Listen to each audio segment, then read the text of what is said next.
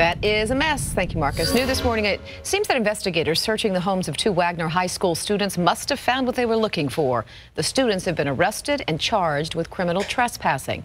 Katrina Weber is live at the magistrate's office this morning with more on this story. And you say this has to do with a break-in at Wagner, Katrina.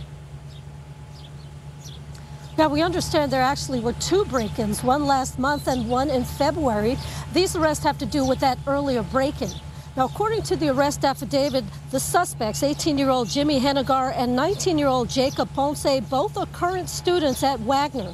As we first reported yesterday, police with the Judson School District, along with the FBI, were conducting searches in two students' homes looking for recording devices, including GoPro cameras. They told us this had to do with break-ins at the school, which were caught on surveillance camera. They say their video showed four people walking through Wagner's halls after hours, but not committing any other illegal activity.